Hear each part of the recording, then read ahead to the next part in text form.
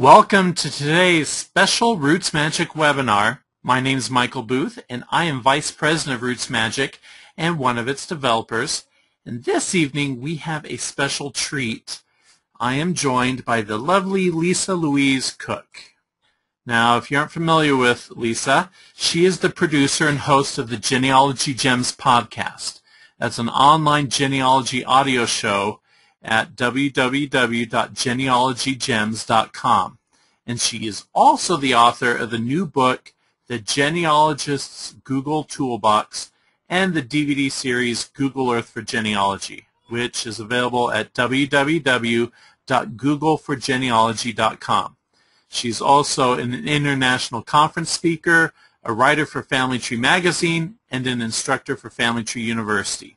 And she's also just an all-around fun person with a great enthusiasm for genealogy. And tonight's topic is Google search tips and tricks. And I'm sure many of you have been frustrated by all those irrelevant search results in your recent Google searches for your family history. And Lisa will teach us the art of online search and show us how to achieve better results in a shorter amount of time. And you'll also expand your Google search repertoire and learn techniques, tricks, and tips to achieve better genealogical search results. Well, hi, Mike. Thank you so much. Uh, welcome, everyone. I'm trying something different this time. I actually have my little webcam there in the bottom. I hope you can see it because um, sometimes, you know, when you're doing these kinds of webinars, you wonder, is that person really there or is she in her jammies? What is she doing? so, oh, we can, hi, everybody. Yeah, I just wanted to say, uh, you can see me? Yes, looks great. All right, good. Yeah, no, I'm, I'm, yeah, no jammies or anything. I'm raring to go. Um, although I do, Michael, have my tiara because I'm ready for the royal wedding tonight. So that's that's the next thing I'm doing tonight. But right now, we are going to focus on Google search. And I want to give you some tips and tricks that are going to hopefully help you um, have great success. So let me just get my mug off the page here. And let's jump right into it. You heard great things about Google, I'm sure. But has this been your experience, uh, let's say search results, 1,698,342. How in the world are we supposed to get through all of these results? Um, so maybe Google has lost a little bit of its luster for you. But actually, it is a very, very powerful tool. There are just some rules of the road that you need to kind of um, pay attention to that will get you to what you want to get to. And that, of course, is our ancestors. So I'm hoping that by the end of this webinar, you are going to say goodbye to fruitless Google searches. They are gone as of 2011 um, because I don't know, every class I've ever taught, I've asked the question, hey, raise your hand if you have plenty of time to do all your genealogy research. And of course, not a hand goes up because we don't have enough time and we certainly can't waste a bunch of time doing a bunch of searches that bring hundreds and thousands, oh my gosh, a million results. Uh, that's just a time waster. So these tricks and tips are going to help you to comb through that and hopefully, again, make the most use out of your time possible. So in this session, we are going to talk about some Google search basics. We are also going to move into some advanced tips that I think are really going to help move you forward, get you to what you want to get to, and then I've got some strategic tips for you. Uh, some, some tricks of the road that I've learned that um, get you thinking in a strategic way about your search. Um, it's very easy just to kind of kind of hack on the search box and, and toss in keywords and just it's like throwing things at the wall and hoping they stick. And um, there are some strategies that you can employ so that you kind of get in control and the driver's seat of your search. You know, uh, nowadays it seems like Google is king in the area of search, but it's really important to understand the core search principles that you employ with a Google search that those will take you much further along. Uh, it may be king, they may have you know the most amazing amazing algorithm out there crawling the web, uh, grabbing pages and indexing everything and, and that's wonderful. But if you can't put your hands on it, then it's no good to anybody. The breaking news is, though, and I want you to really keep this in mind throughout this presentation, uh, Google search is an art. It's not a science. And that's a really important concept to keep in the back of your mind at all times while you're doing your searches. It's scientific in the sense that Google takes you very literally. When you put something in that search box, it doesn't understand the nuances of what you're thinking in your mind. It's saying, you know, okay, I'm going to take that exactly the way you put it in and give you the same exact results accordingly. So that is the scientific side of it. But in terms of how you're going to construct your search queries, the questions that you ask Google, it's much more artistic. It's like having that palette and mixing the colors. And you kind of have to play with it. It's very rare that the artist puts a color up on the, on the canvas and says, oh, that's perfect, great, no problem, let's keep going. You have to tweak it, you have to see how colors play together, and you have to see how keywords play together. Now, one thing I just want to kind of stop and mention right out of the gate, because this is often a question that people have. Now, I know we have a wide range of skills out there in the audience, and so for many of you, you may have already gotten past this concept, but I know that there are some of you out there who might still be doing this. It's something I actually saw my husband do the other day when he was doing a Google search. He typed in a question. How do I find the instruction manual for this refrigerator, whatever it was? And it was just a whole lot of information that Google didn't really need. And what it ended up doing was causing Google to go out there and try to grab a whole bunch of different things based on these keywords and the order in which he put them in. We don't want to ask our questions in question form. Does that make sense? We want to construct a query. We want to piece it together with the key components, only the components that we need in order to communicate to Google what we'd like them to go out and find. Google really isn't indexing entire sentences, you know, in context as much as it is looking at the commonality of the words that are showing up on the screen, how often they're showing up, kind of somewhat where they're positioned. But um, I think you'll see as we move on through the evening that you're going to just want to let go of this idea of asking questions of Google in your in your searches and really giving them the facts. It's like just the facts, ma'am. That's all Google really wants from you is the facts and the direction that you want to go, and then it will try to return the, um, the best results that it possibly can. And again, finally, in terms of it's an art, not a science, it's all about casting a wide enough net to get what you want, but then narrowing it down in order to get rid of the stuff you don't want. And it's a fine interplay between the two. And that's why oftentimes for more complicated type searches, it is a series of search queries that you do, not just one perfectly constructed search query.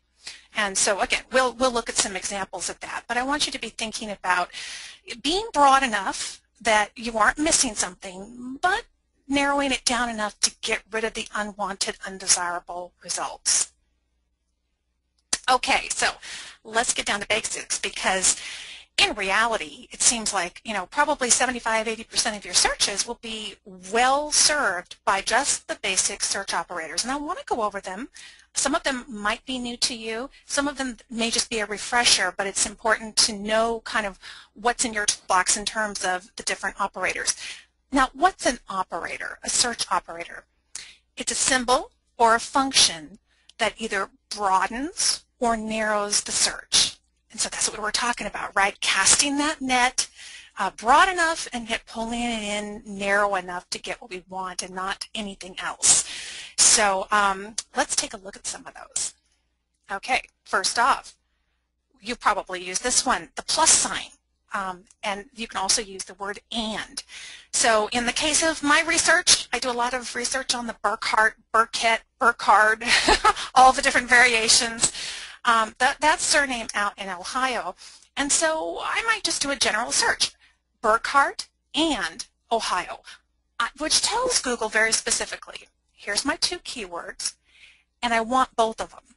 So I want Burkhardt and Ohio. If it doesn't include the word Ohio, then it's not a search result that I want. And um, you kind of have to play with this. And as we look at these, keep in mind also, you can combine these. These are really actually better used when they're combined together. So let's look at the next one that you could put this together with. We could look at or. So maybe I'll say, um, I want the Burkharts of Ohio or Indiana. Now notice, I'm not saying um, I want the Burkharts of, you know, I'm not typing that entire thing out. It doesn't need all that extra verbiage. That just sends it into a tailspin. I really just need to let Google know those keywords and the way in which I want it to work with those keywords, and that's what these operators do. It's saying um, it should have Ohio or it should have Indiana, but I definitely want Burkhart, okay? And then next, oh, so many times I get this question in um, presentations. People say, oh, I've got one of those surnames. It's so common. Um, you know, it could be the word soap or, um, you know, I know somebody last name coffin or way or just a word that is used in so many different contexts outside of genealogy. And that's a tough one. Also, one like Lincoln if you have the last name Lincoln, you could end up with, you know, a million search results that talk about President Abraham Lincoln. And maybe you know that your Lincoln line is so far removed from that, you're really not interested in anything having to do with Abraham. You want to focus on other Lincolns. So that's where the minus sign comes in, or the word not. Um, so we can tell Google, give me pages with Lincoln, but I don't want a page that has Lincoln and also mentions Abraham. So right there, you have just tossed a whole bunch of irrelevant um, results right out the window, and they're not going to show up and run your numbers up to a million on the results. Um, these, just these three alone can do so much to narrow things down. And again, you could do these in combination. You could say Burkhart, Ohio or Indiana, not um, Amos. Maybe there's a, an Amos Burkhart that's part of a whole other different family that doesn't have anything to do with my family. I might subtract that out to get those results out. And that's why I was talking about it really does take sometimes multiple search queries to really fine-tune your search to where it needs to be to give you good results. So maybe I don't realize that there's an Amos Burkhart out there who's, you know, who invented the toothbrush. I don't know what he did, but, you know, if he's out there and there's all these web pages and I'm, I very quickly discover this guy has nothing to do with my research, um, I can then go back and just tweak the query to add this, you know, minus sign and Amos and get those out of there. Um, so that's something to keep in mind. Build on your searches. More search operators, we can use quotation marks, and that's when we really want to get an exact phrase. If I say, I want Jehu Burkhart, and I put that in quotation marks, I'm going to get exactly that. So here's another way I can do some combination. I can say, you know, there is a Burkhart line that's out of Pennsylvania. And let's say that they happen to have a Jehu in their line as well, but again, doesn't have anything to do with my family. I can say, I want Jehu Burkhart because I want that exact phrase, but not where it talks about Pennsylvania because my folks were never in Pennsylvania, so that just weeds those puppies right out of there, okay? so um, think about that. Think about, um, but remember, oh, here we talked about broad and yet narrow. We don't want to, you know, quotation marks really narrows things down. So if my Jehu Burkhart tends to be Jehu L. Burkhart all the time, or half the time on these pages, if I put him in quotes like this, I'm going to weed all those out, aren't I? Because it's just going to take me literally. Lisa only wants Jehu Burkhart. That's all I'm going to give her. That's what Google thinks. And that's what it sends you. So um, you might want to put Jehu Burkhart in quotations, and you could even say, or and then put Jehu L. Burkhart in quotation marks. You know, think about the different combinations and the different ways that they might appear on the page. And think like a webmaster. The people who put the information onto the web page, or even indexers, think about the people who are indexing the material that you want. Are they always going to have his first name first? Or are they going to possibly do Burkhart, comma, Jehu, L? Ah, that one would throw things, and we would miss those if we only did this. So you might want to work with a, a little worksheet, a little search tracking worksheet to, to track which combinations you tried and, and or mix or match them into the query itself so that you catch them all without getting too many. Okay? So let's move right on in into advanced search operators because, oh my gosh, we have so much to cover. It's amazing. um, again, these are symbols or functions that are going to further broaden or narrow our search. Um, here are some of my absolute favorites. The, the tilde, this, which is really a synonym search. Um, so if I put a tilde, the little squiggly, and the word train, and then history, I'm going to get locomotive history. I'm going to get railroad history that is, I discovered this when I was doing some research on a great-grandfather who worked for the railroad, and oh, what a saver it was. Using this again in combination with some of those other operators we just talked about, um, this was really terrific. So think about what are the other, again, commonly used words for the word that you're searching. How would a webmaster use? What words would they use? What word would an indexer use? Think about who's creating the kind of data that you want to find. And then there's the asterisk. This one uh, I, I discovered when I was working with city directories because I realized, again, depending on the location and who was putting this information out on the web, sometimes they would be elaborate and they would do the city telephone and address directory, or they would just say city directory. And of course, there are many different types. So when we put the asterisk in between those two keywords, we're telling Google, I want these two words to appear on the page. I'd like them to be close together, but it's okay if there's another word or two in between. Okay, so it's like a placeholder, like a wild card. And so that way we're going to catch city telephone directory, city address directory. We're going to have a broad enough net, but still be narrow within directories. And the num range search. I love this search, um, and it has saved me a couple of times. Um, this is where we really want to just cut out those web pages that are talking about perhaps something in modern times, and really we are only looking for information that fell between 1790 and 1830, for example. In this case, I was looking for an obituary for Jehu Burkhart. And um, again, depending on how common your surname is, or the name of the person, or whatever it is you're searching for, you may find that all kinds of other results show up in a completely different era that are irrelevant. And you want to get those out of there with just a simple tweak of your query by adding this dot, dot, dot, and the two, two dates on either end, you're going to narrow it way down. Let me show you what this looks like. What I love about this is you can see here, here here's Jehu Burkhart, 1790 to, to dot, dot, dot, 1830. That's the num range. And what I love is that um, Google actually bolds the date for me. So it's bolding the word Burkhart and 1791 and the name Jehu.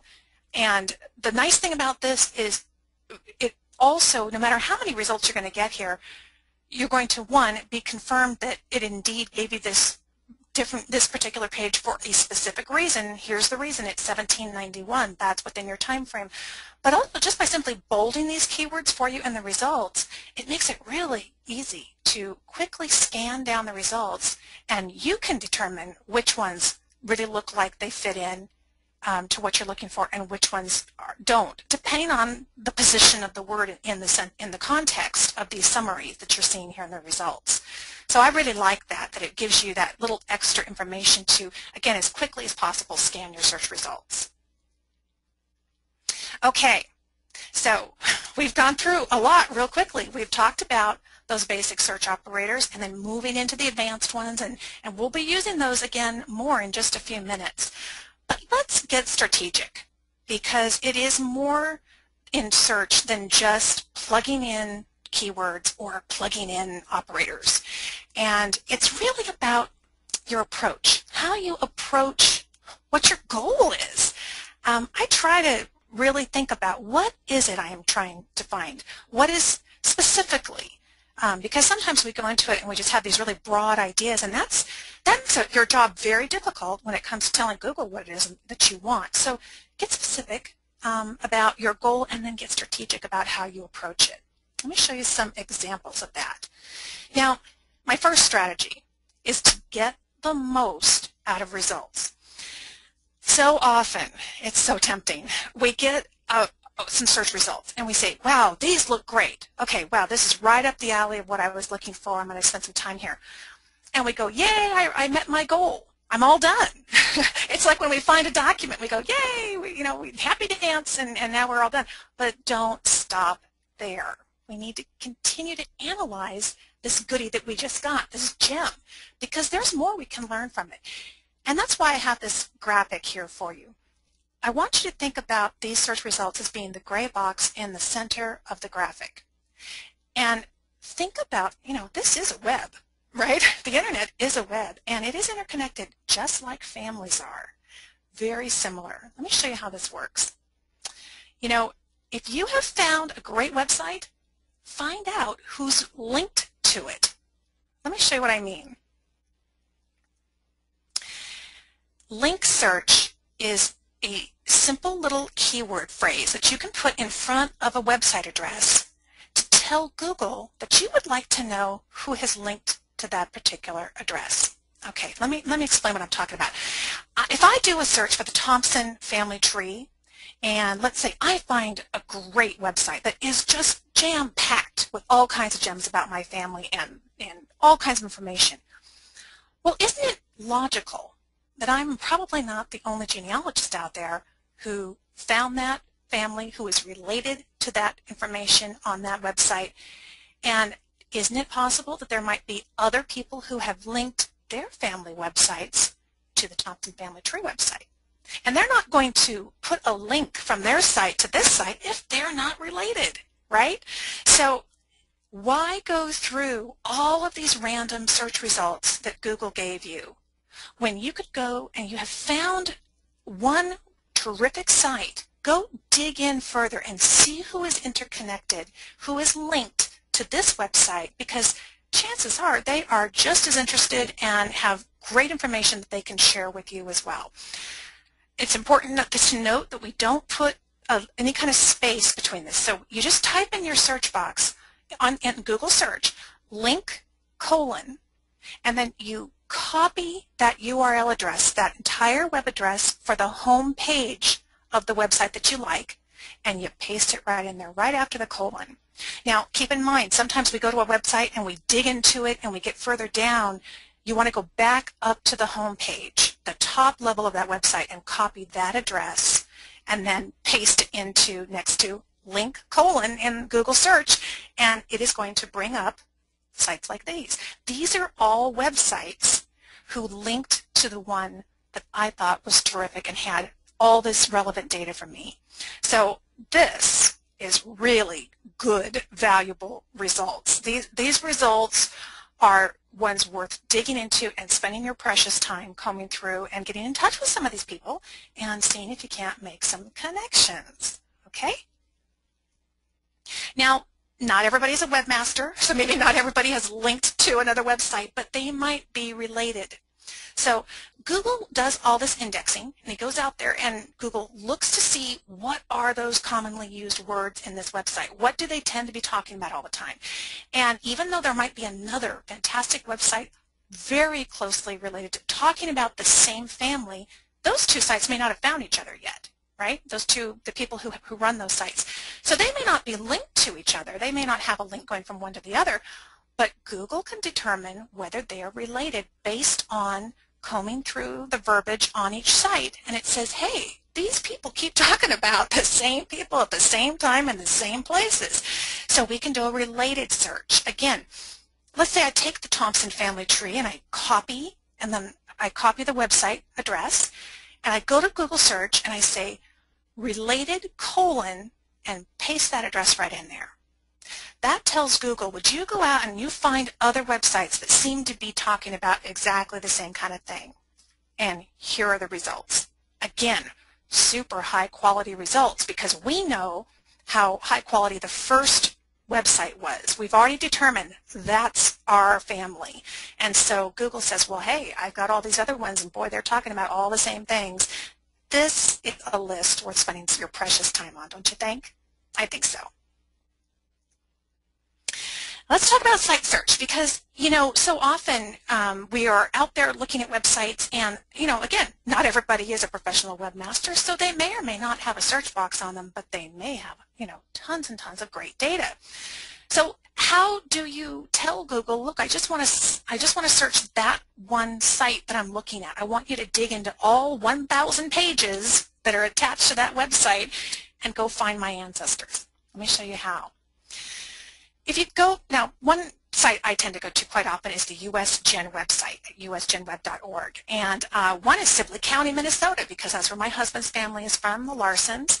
And so here's the website. I went up there and I just copied, highlighted and copied that URL address because this site doesn't have a search box, but there's hundreds of pages. If I go to Google and I say Larson space site colon and copy that address, here's my results. Now, let's say there are 500 pages on the Sibley County USGenWeb site. Okay, that could take forever and a day. and then we would miss the royal wedding. So what I do is I go in there and tell it, look, I really just want to see the pages that have the word Larson because I'm looking for Larsons in Sibley County. And so we first we tell Google the keyword, and then we tell it which site to go look at. Site colon and paste it in there and there's two results right there. Think of the time savings. Amazing. But again, don't stop there. My strategy number three is to go within results. And we've already been doing some of that. We've been taking these great results, we find a good website, and we go further to see who's linked to it, who's related to it. Uh, we search within it. But now, what if I do that search, but then I might have gotten um, 100 results with Larson, and I might want to still thin those down without having to start all over again. So here's the results that I had. And if I go in here, I can type right in front Winthrop. They lived in Winthrop, Minnesota. So I would like to see the pages that talk about Winthrop and Sibley County, or I want to see Winthrop and obituary, the word obituary. And as you can see in some of these, it actually has the word obituaries. So it understands that, that the word is common. And then you can click right through, and here we are to the web page, uh, buried somewhere deep in that website uh, that might have taken me hours and hours to find, and right here, I can jump right in there, go to the page, I find Larson, I find obituary, I find Winthrop, whatever it is. In the old days, you had to go down to the bottom of the Google search page and add your extra terms, but as you saw in this search, as soon as I start typing them, it started adjusting the results. That's called instant search. That's pretty new. That's been out the last year or so. And instant search is uh, it, it's a little unnerving at first. It looks like it's trying to read your mind, but in reality, it, it actually speeds up the process, which means you're going to have more research time. Strategy number four. Uh, I was going to say this was my favorite. They're all my favorites. I can't say that. Okay. um, strategy number four is to think about visualizing your results. Okay, what do I mean by that? Well, there is an image search, and maybe you've done an image search and, and looked for, you know, pictures or photographs or whatever, but an image search can sometimes facilitate faster and more accurate results than just doing a text search. Now we've been doing text searches so far, so everything we see comes in text form, it's summary, you know, written out that links to a web page. And I want you, as I'm showing you this, I want you to think about that you can use the same operators uh, as you did with text search in an image search. Okay, so we can use and and or and quotation marks and minus signs, all kinds of stuff. One more thing before I show you this search is I want you to think in terms of the search option column. That's the column along the left. It's been around for about a year or two. And um, it gives you some really, almost like a little toolbar, some quick little places to um, refine your search, and it's particularly helpful when it comes to image search. So let me show you an example of this. Um, plat maps. Now, I do a plat map search, and look at all this text. that, that looks like it's going to take me forever to go in, but if I click images, look how search results change. And it's not just pretty pictures. This is telling me something about which site has what I want.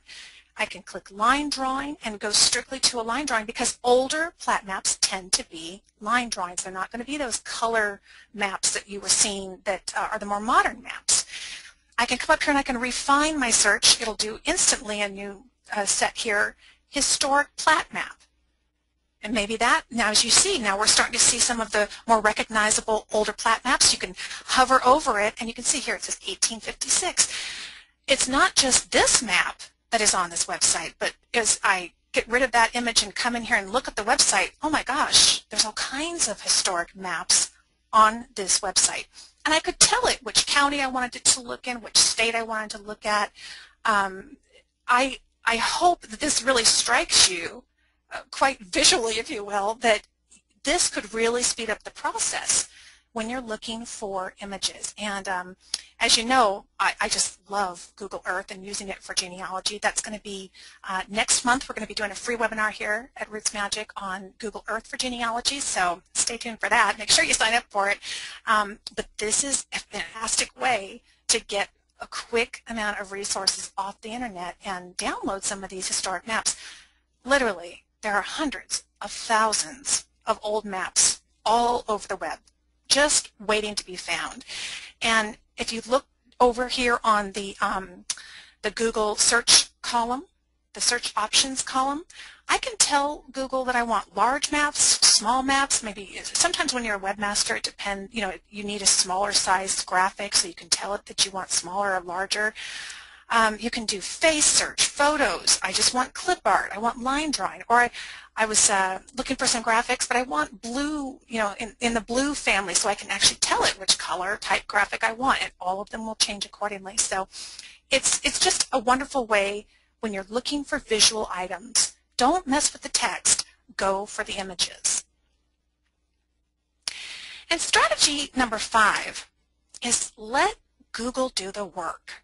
Okay, now already I'm guessing there's some of you who said, oh my gosh, how am I going to remember all this?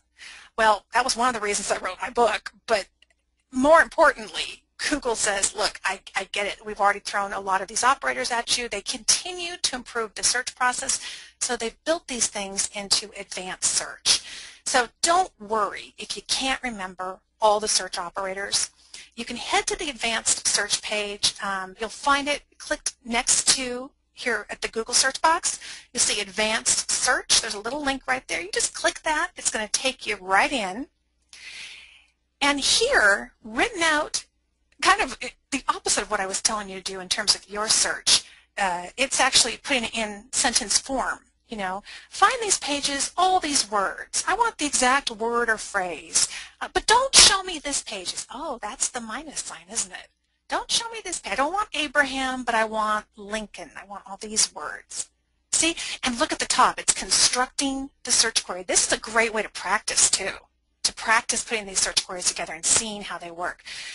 You can uh, pick what type of format of material that you want returned to you. Ah, there's site search. And click that um, plus and minus button because, hey, you're an advanced searcher now. We've talked about all of these things practically. Um, date. You can have ah, the numeric range. Here we can put in our 1790 to 1830. And we don't have to remember that there's a dot, dot, dot. Advanced search has it right there. And even down below, page-specific tools. Pages that are similar to, pages that are linked to, right? And so you just click go and here it's going to give you your search results and you can go back, you can refine it, you can refine your search right there from the search box. So all of these operators that we're talking about are built into advanced search. I hope that if you go in and use advanced search that you do um, watch how it's constructing the search query for you at the top so that it continues to build your own skills so that you won't always have to jump into advanced search. You'll, they'll start to be second nature to you, and then you can just type them in there yourself. Strategy number six, let's apply what you've learned so far in Google search, but let's expand it outside that Google homepage and the search box into what I call the Google toolbox. Uh, as you may know, Google has so many different wonderful free tools out there that you can use. one of the things I try to do, you know, when I work on the Genealogy Gems podcast, and I know I've said, a lot of you have heard me say this before, is I kind of see it as my job. I want to put my genealogist hat on, but I'm kind of a geek at heart. And so I go look at this geeky tech stuff and say, hmm, these are all really cool tools. They're developed actually about an hour south of where I live, down there in Silicon Valley. But these guys who are developing these tools, they're not, believe it or not, they're not genealogists. What are they doing with their time? well, I like to look at those tools and say, how can we harness that? Because there's a lot of online power there. And how can we harness that to get further in our own family history research right online? So I want to share with you just a few of the, the tools that I see as being in the toolbox. Um, again, this is kind of like what I talked about uh, in the book that I wrote. I tried to pull in all of my favorites, the ones I think that are really well suited for genealogy, and um, get those with applying these search techniques to each of them. And you'll see how this works. Um, and as you can see, there's a lot of them. The good news is, even though it takes a, a, free Google account, if you will, to use many of these, you only have to have one Google account. So if you don't already have your free Google account, uh, the first time you use one of these tools I'm going to show you, go ahead and set it up, but just rest assured that you'll then have your username and your password, and you'll be able to use it for any and all of these that you come across as you go along, and you'll be all set up and ready to go for Google Earth next month for that webinar. So Mike, I want to invite you to join me back on here because we have a quick little poll that we want to do um, because I'm really interested to know which tools of the ones we're going to be talking about some of you are already using. Are you there, Mike? I am here. okay. I've put the poll up, so go ahead and select all of the services that you're currently using and we'll give you about a minute or so to place your votes.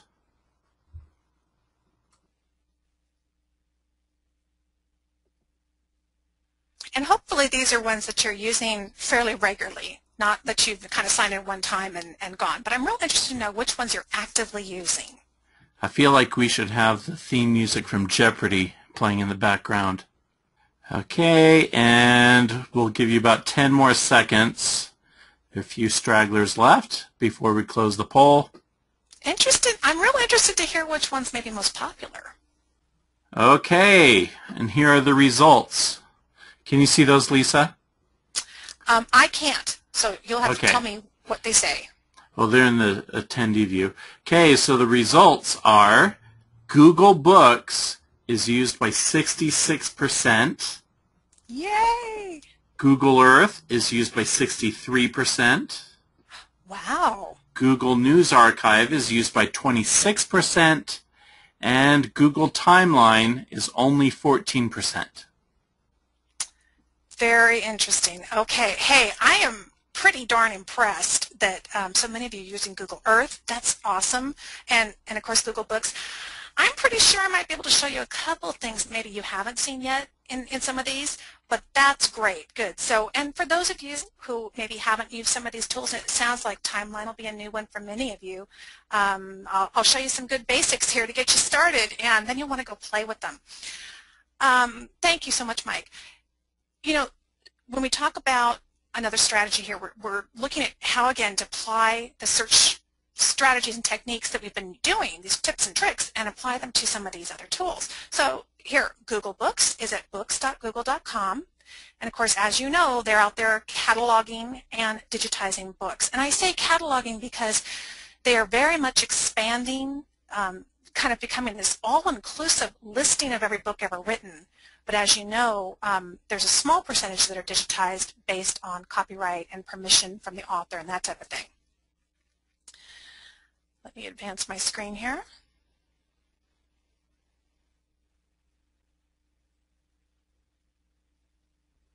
There it goes. Okay.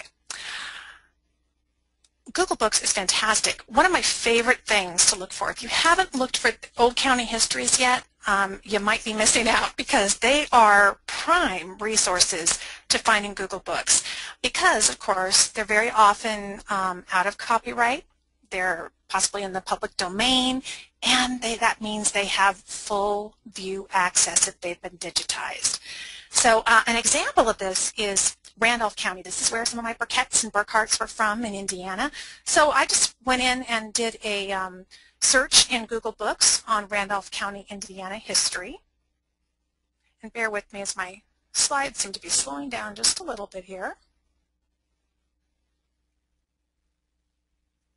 We're going to go inside these books. And that's one of the things I want you to keep in mind as we get into this book.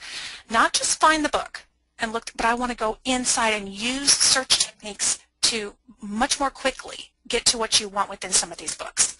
So here's um, Google Books. We're going to go over here and type in Randolph County, Indiana history. And I'm going to do my search. And it's, I was just amazed the first time I saw this one by E. Tucker from 1882. My gosh, I remember the day that I went to the National Archives and found it here in San Francisco. And I was thrilled. It's a huge book. and here it was completely digitized and online at Google Books. Um, so, but here's what I want you to be thinking about. Sometimes we forget this little search box over in the left-hand column. This is search within a book. So if this book is 900 pages, I can go in here and I can type Burkett and click go and don't you love it? It gives me what they call snippet view, each page um, where the name Burkett appears. Now you may have done this in the past, but I hope that you'll go back and then you will further incorporate so many of those search operators and search techniques and query building that we've been talking about. Um, I'm showing you just simple examples of how it switches the view based on the name, but you could add the not and the, and the quotation marks and the minus sign, all kinds of things to dig further because as you saw, like Smith is going to bring up 100 results. So I want to narrow it down quite a bit more. But that's just one way to, again, save your precious research time. And that is, don't stop at finding the book. Head on over to the left-hand column and use the search field that is specifically for searching only this book. Um, sometimes, you know, we look at the one up above, and if we change that one where it says Google Books and we type in something new to look for, it's going to give us a whole different book. It's down in the column where we're going to search within the book. So here it is up close, just to, to show you. Uh, it shows you how many results you have. So if there's 84, that's a lot. I'm going to want to go back and incorporate some of the, the operators and those search techniques and, and tips that we've been talking about into that field to narrow it down. And consider this, you know, if you're searching in a traditional library, it would be very natural to go, as I do, gosh, I go to the Family History Library and I pull off the shelf Randolph County, Indiana, because that's where my Burketts are from. And I got to thinking about, well, gosh, what's the difference between going into the physical library and having this online digitized book library, if you will?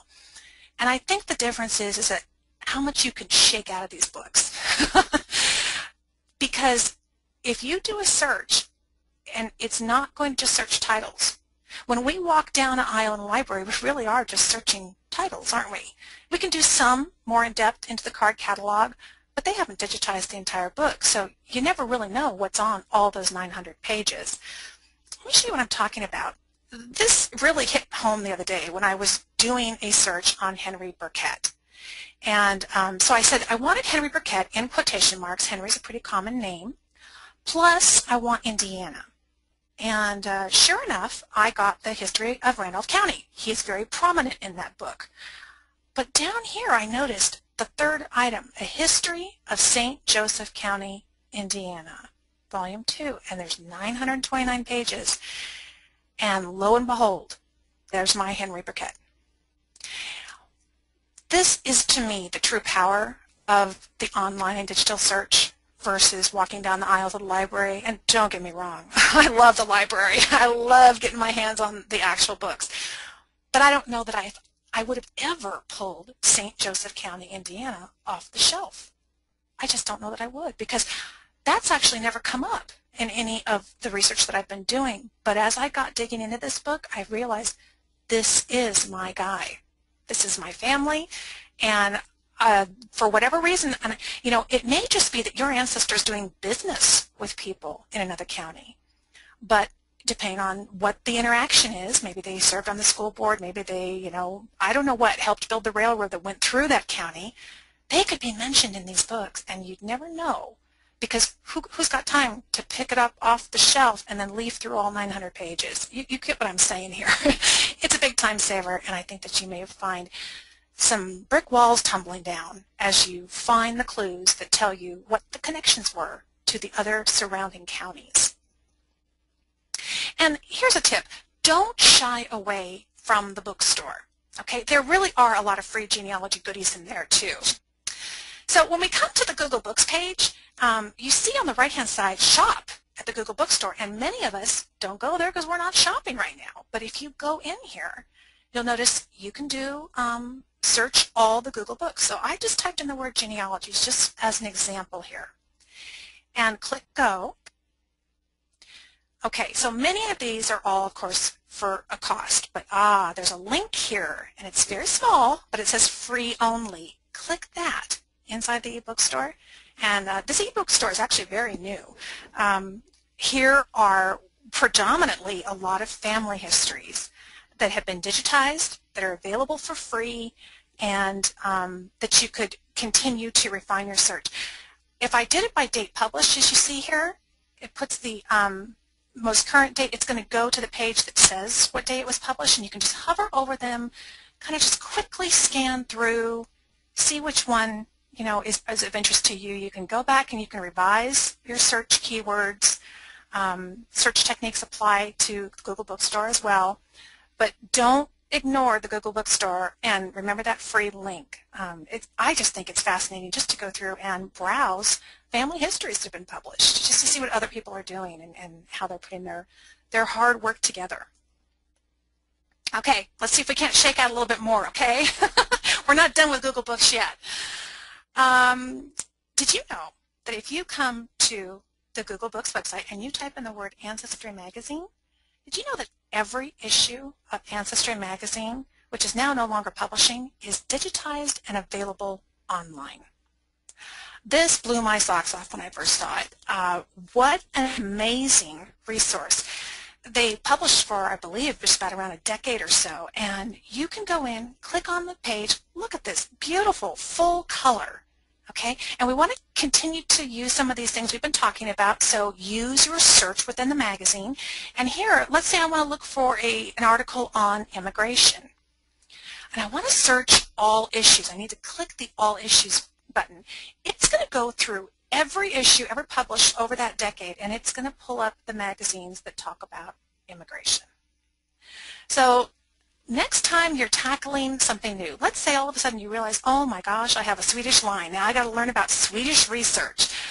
Go to Ancestry in Google Books, type in Swedish, and do a quick search. Think how quickly you could get up to speed reading some of the fantastic authors they have. You can scroll through all the issues, see what's there. You can refine your search, but this is a treasure trove of information um, to help you get resources and see who was writing about it, see who the experts are. And again, if you want to go back and see the entire listing, just type in Ancestry Magazine and you've got them all right there at your fingertips.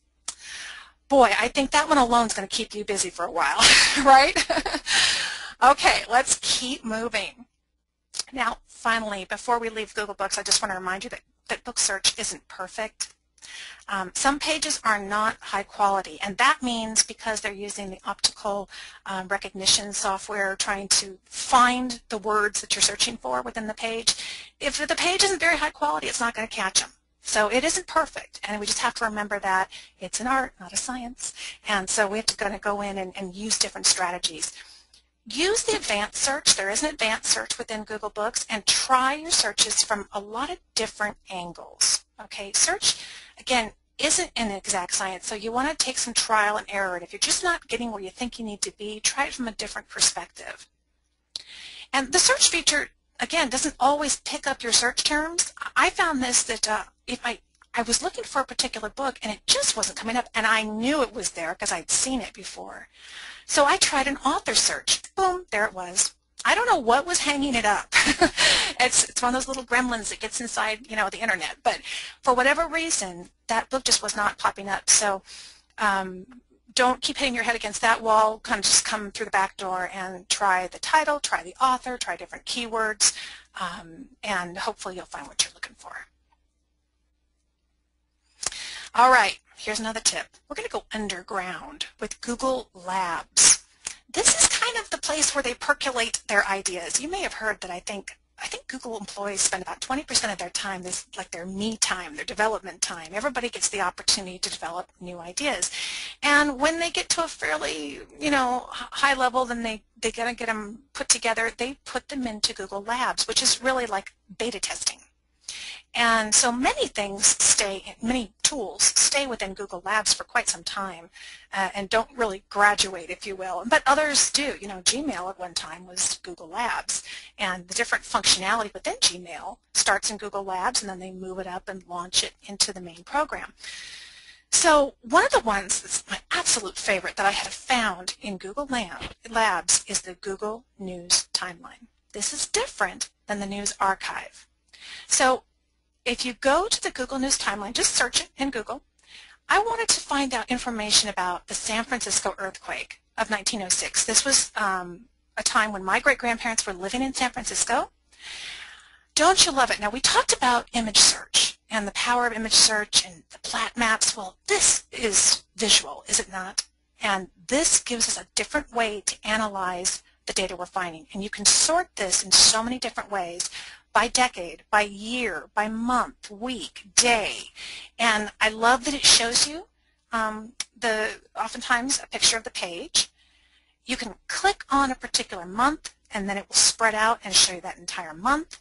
Um, and here we're clicking right through to show an example of an article that I found um, that was digitized and put onto Google News Timeline and it talks about the earthquake. So this was a way that I could get back into old newspapers online in my jammies in the middle of the night, you know, reading up on the 1906 San Francisco earthquake. And yes, I have absolutely found ancestors in newspaper articles here. Um, gosh, all different kinds of wonderful resources. And the viewer they're working on is now a new and improved kind of, so I really like the viewer. You'll find some of these were digitized by Google. So they'll have their own viewer. Some of them are going to link into other websites, so you might be using their viewer. What I also like about this is that here you can look at a time frame or you know a, a span of time, and if you're not sure when something occurred, boy, this happens so visually. It really shows you it. People were talking about it as of April 1906, and they were not talking about it before. So if I didn't know that the date was in April of 1906, I'm going to know almost instantly by doing a search in the timeline and maybe pulling out the view and seeing how it spreads, about, spreads out and gives me a sense of when this event occurred.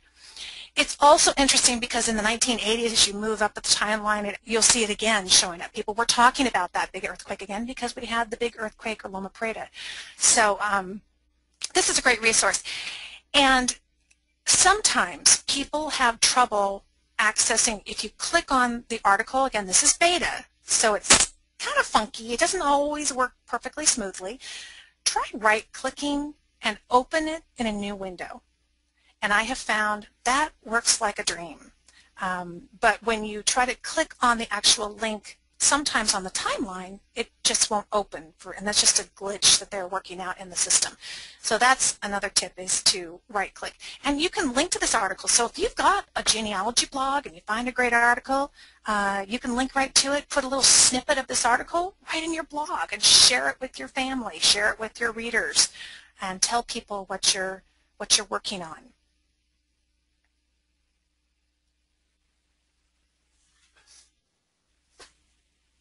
So that is, and, and, again, to get to this, I think the simplest way to get to the lab is to go into Google search and type in Google News Timeline. That's going to get you into the labs area. So yes, there are digitized newspapers on Google. But search is expanding uh, into, and it's applicable in all areas.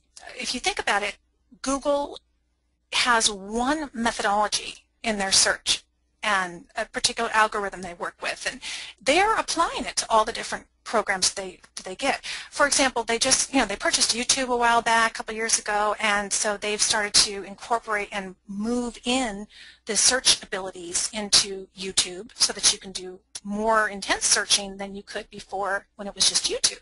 Same thing with Google Earth. Search is integrating with Google Earth.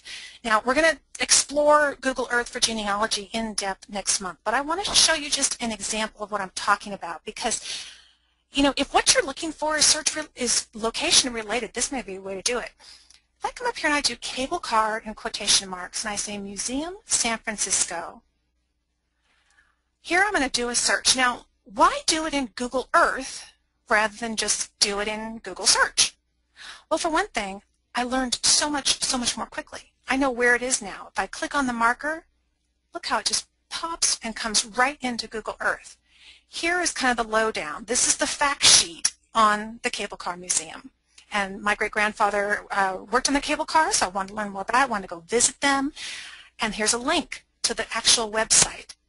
And it will open it up for me. It's so convenient. Now this is going to pull up a, separate internet browser window, window um, but all happening within Google Earth so that I can stay in the context of the locality of where this is. And there's photographs there. Um, let's try clicking images up here in the top. Oh, we can actually use image search right here within, and here's video search. So I wanted to see some video of the Cable Car Museum in San Francisco, and here I am watching it right inside Google Earth. Pretty cool.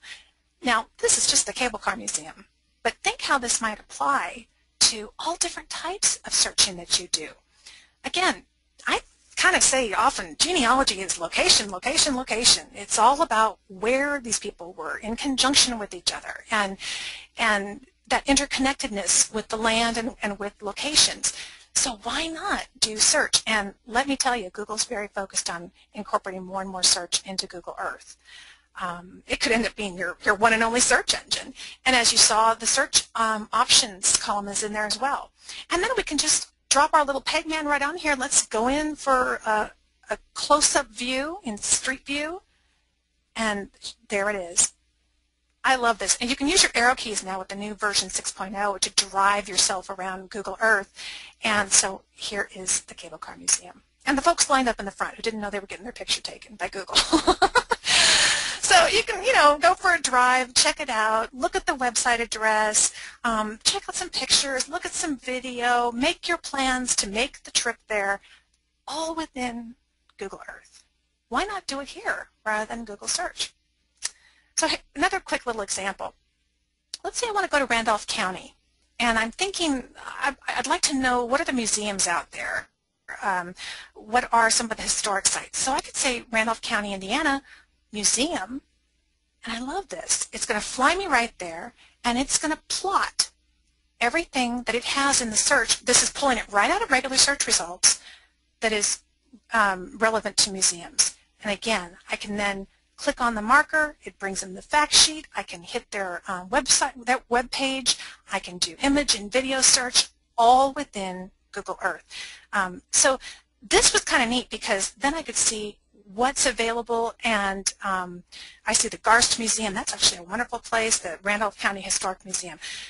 This gave me a really quick and dirty way to find out what's available and who I might want to get in touch with to learn more about the history of that area. I hope you're as excited about Google Earth as I am because I just think that is pretty amazing. Um, I hope, it's hard to believe, an hour has just wound around the clock and flown by. I know we've covered lots and lots. I hope, if nothing else, you really feel like the idea of having these these aggravating fruitless searches, they've just died. This, that idea is gone.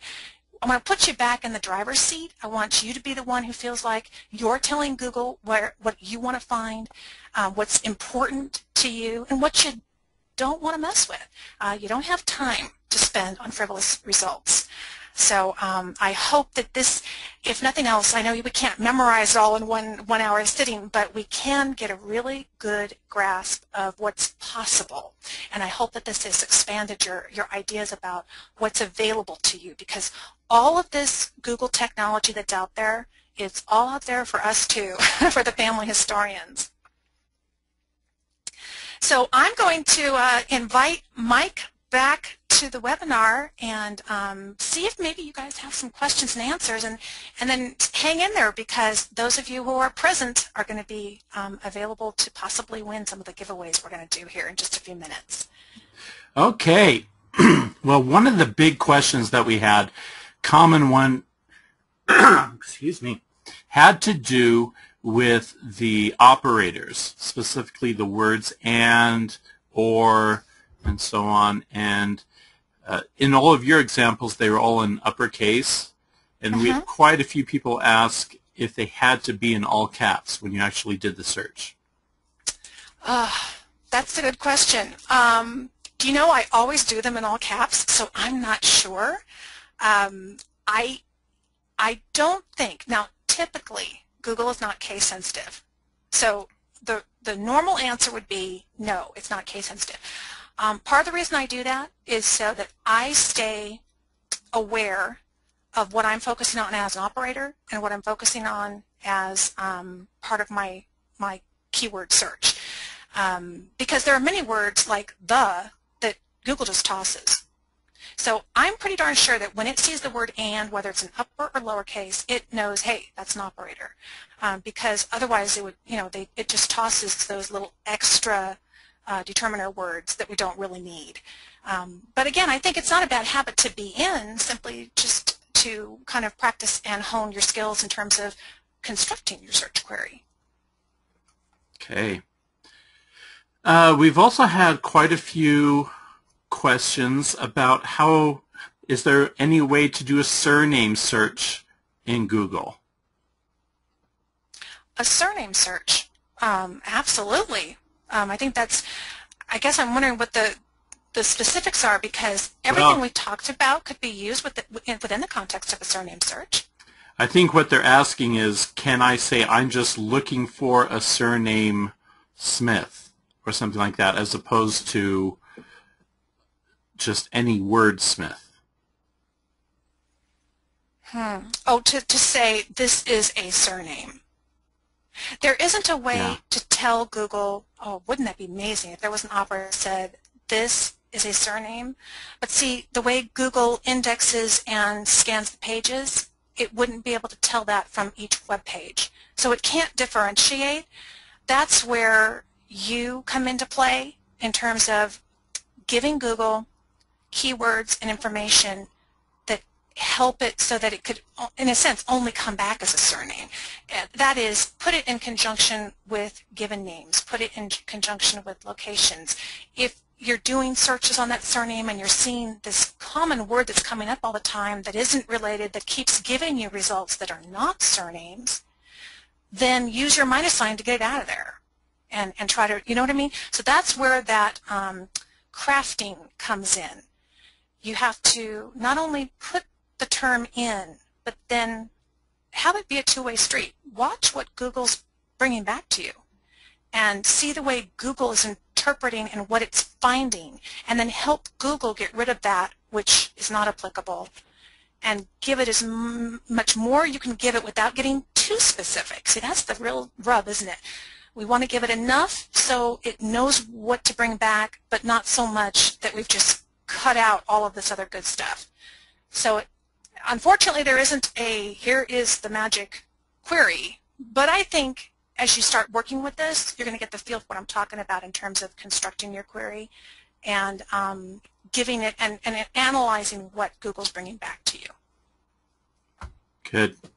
Um, several people are chiming in saying that they believe that the operators do need to be in all caps.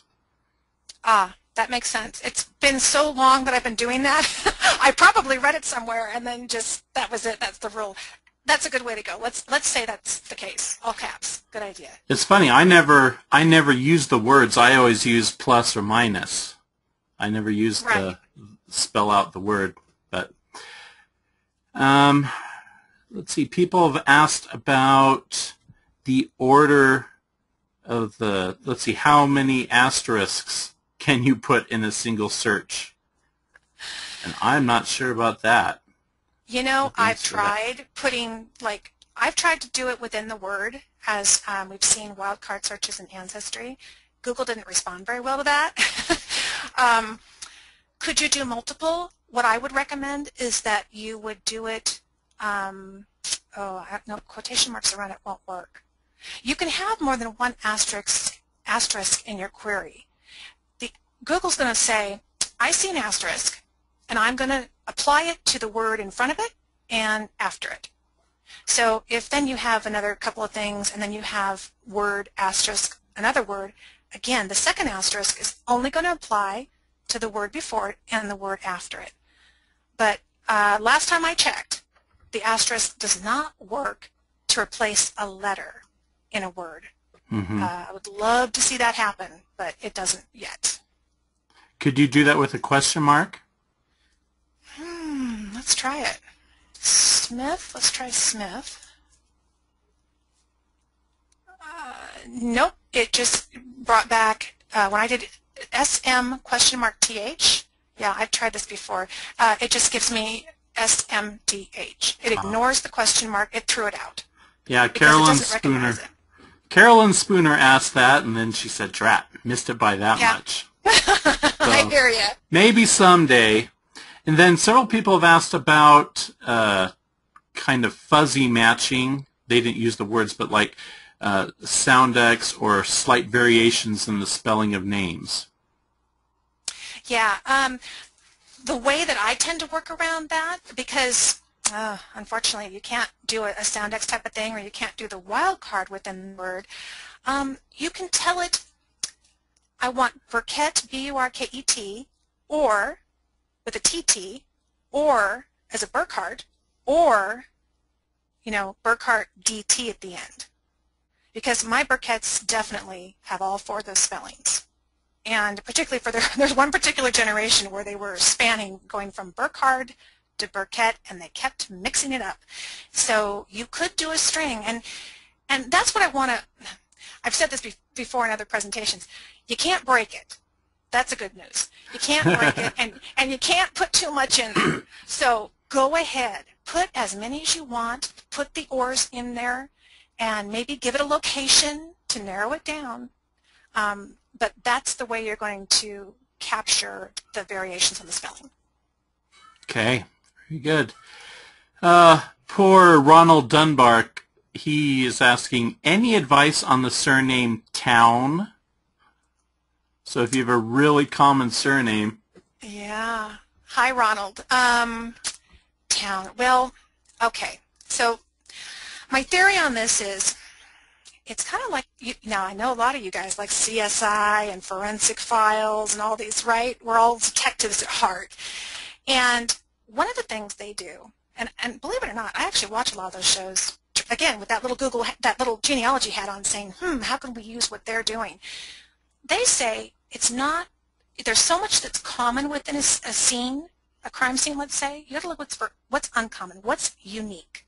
And I think this is the same kind of thing. When you're saddled with a very common name that has, oh, even worse, um, another meaning, that's a very common word, that's the common thing. So what can you give Google that's unique and identifying about that name? And so that's the context. It's that name in association with um, a particular given name or a location or a time frame uh, maybe that word is commonly used in modern times but was uncommon back in the 1850s and that's when your ancestors were from.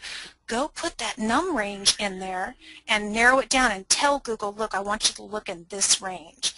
Um, you're going to have to be kind of sleuthy about this and, and think about what are those unique factors and try to give those factors to Google as best you can. Watch the results you're getting back and then tweak it to hopefully hone in. Um, but uh, you have to kind of be the, the painter of that canvas, if you will. Uh, that that must have struck a nerve because we've had a lot of people commenting I sympathize. Uh, my ancestor's surname is Champion or Oh. uh, uh, Williams. But they have to put out minus tennis balls or whatever. Yeah, yeah, something like that. I hear you. But you know, I know this, it sounds complicated to have to build this big search query. I recommend having a little search worksheet that you keep by your computer. And um, so you don't lose track of what you've tried. And here's the other thing, and I didn't even put this in the presentation, but I think it's a great little placeholder. Google Alerts. Now, I know many of you have used Google, Google Alerts, and I've talked about it in my free Genealogy Gems podcast. You can do a search on my website if, if you're not familiar with it. I also have um, a whole video series as part of my premium membership on all this Google stuff, doing video tutorials, and one of them is Google Alerts. The idea being, if you do a search and you've really put your heart and soul into constructing this search that builds around a very common surname, and you've got it pretty good, set it up as a Google alert and let Google try it out for a while, send the results back to you. You can always go back and manage them, and you can have lots of different variations. So there's another approach to the idea of um, variations in spelling. Maybe all the, the context, you know, parameters, the, the keywords around that, that name are stagnant, but you've got all these different variations. Set up a Google alert for each one and test that out and let it drive for a while. Go back, delete the ones that aren't working, tweak them. But isn't that great? Because then you don't have to try to remember, how did I put that together? You know, because right. sometimes the string gets quite long and it's been a while since you did that search. Use Google Alerts as kind of your favorites or your bookmarks for searches. Okay. Uh, I think we're about ready for the prize to give away some prizes. I want to give stuff away. Let's let's do that. Let me see here. What have I got? Ah, my book. Um, this is my baby, and I worked on it all last year. It's brand new as of January of 2011, and um, all, all I can say is it's. I tried to write it the way I would want to use it. So it is a reference tool. This is the the puppy that's going to sit by your desk and your keyboard.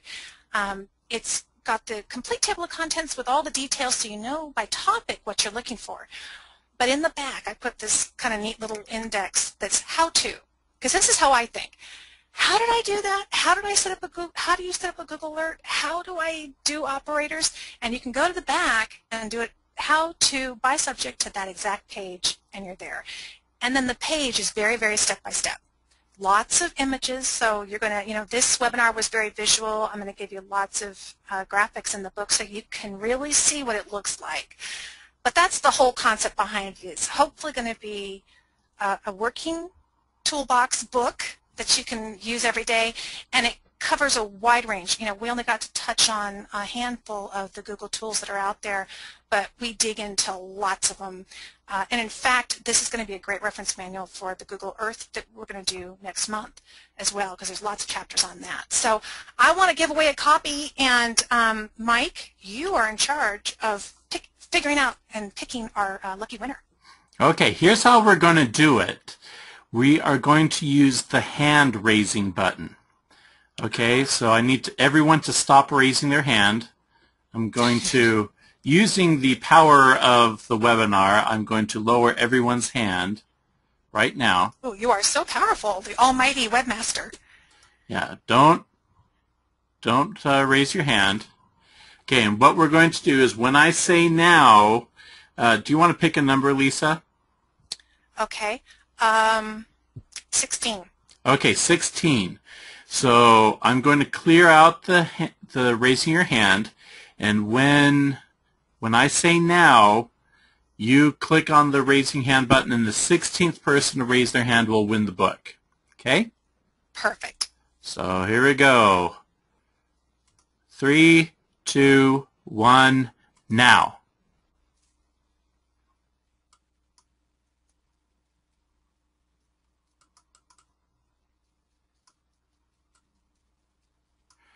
Okay, and it looks like the winner is Gail Johnson.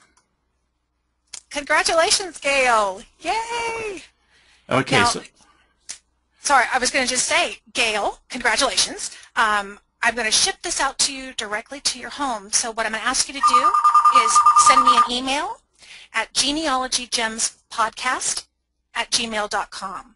And of course, you can always get in touch with Mike at RootsMagic, but it's genealogygemspodcast at gmail.com, and I'm going to ship that um, book out to you, and I hope you enjoy it. Uh, I hope that it, uh, and I, I feel pretty confident it's going to absolutely reinforce everything we've been talking about here tonight. And for the rest of you, just want you to know, I put, uh, I went into Lulu right before I came online. Lulu is the place where I uh, have my little store, and I put in a 15% discount. It's it's there until the royal wedding starts, and then it's shutting off. So it's there for midnight tonight, and um, that's going to make it basically it's like free shipping for you.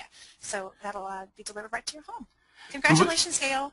We've had a lot of people ask are there going to be, is there a handout for this? And really this book is the handout. Um, so and it, it has a lot more information than, than uh, we've covered here in this hour. It does.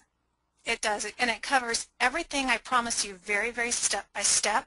Um, so you're going to be able to turn to a page and do exactly what we've done here on the um, webinar. And like I said, lots more because there's a lot more tools than just the ones we talked about. So it's all there for you.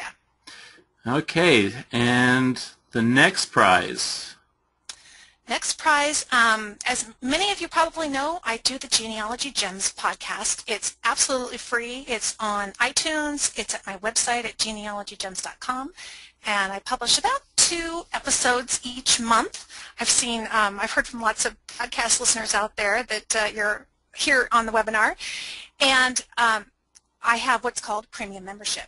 And so what I tell people is if you enjoy the Genealogy Gems free show, you're going to love premium membership because we do a couple of um, members only podcast episodes each month. Uh, the last episode I just published was a audio tour uh, because I recently spoke at Who Do You Think You Are live in London in February. And I took my trusty recorder and I ran up and down those exhibit hall aisles and was interviewing everybody and getting the scoop on what the newest and coolest things were that they had. So that was all featured. We've had Lisa Kudrow on the premium uh, podcast and Vanessa Williams. Um, but also included, just so you know, if you particularly are a very visual person, there is a complete video series. It's about 11 videos long. Each one runs about maybe 10 minutes, and it breaks down a whole series on Google.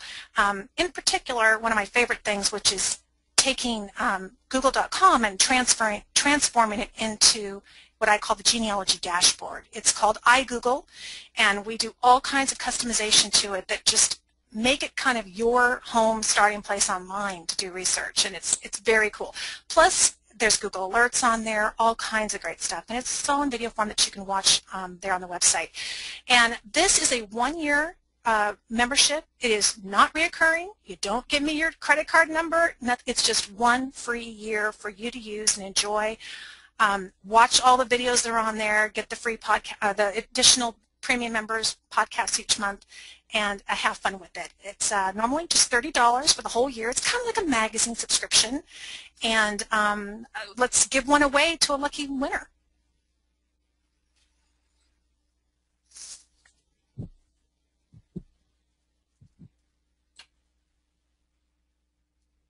Mike? Oh, Oops, sorry, I was muted. Do you want to pick oh. a number? Do you want to pick a number, oh, yes. Lisa? Um, a number. Does, is it bad if it's a high number? No. Okay, how about um, 32?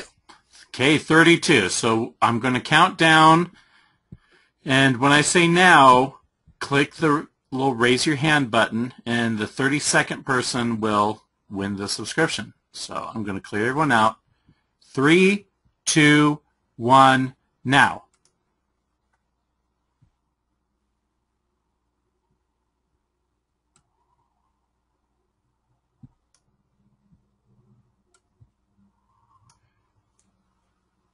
Okay, and the 32nd person is Ed Merrifield.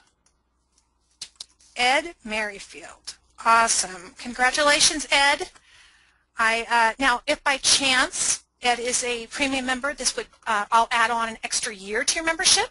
Uh, if you're not already a premium member, then you're going to be getting um, a one-year premium membership for free. So what we'll do, again, um, Ed, send me an email at genealogygemspodcast at gmail.com or you can contact RootsMagic and Mike and he'll get it to me. But email me and I will set you up with your username and password and you'll be up and running and, and join membership. I hope you enjoy it. And again, we're um, doing a discount on that as well tonight. So feel free uh, if you are interested in particularly the videos. Those are kind of cool. So that's in there. But congratulations, Ed. Okay. Well, uh, I guess it's time to wrap things up. So thank you very much for coming this evening, and thank you very much, Lisa, for being our guest this evening. And uh, good luck with your Google searches. Thanks, everyone. It's wonderful talking with you.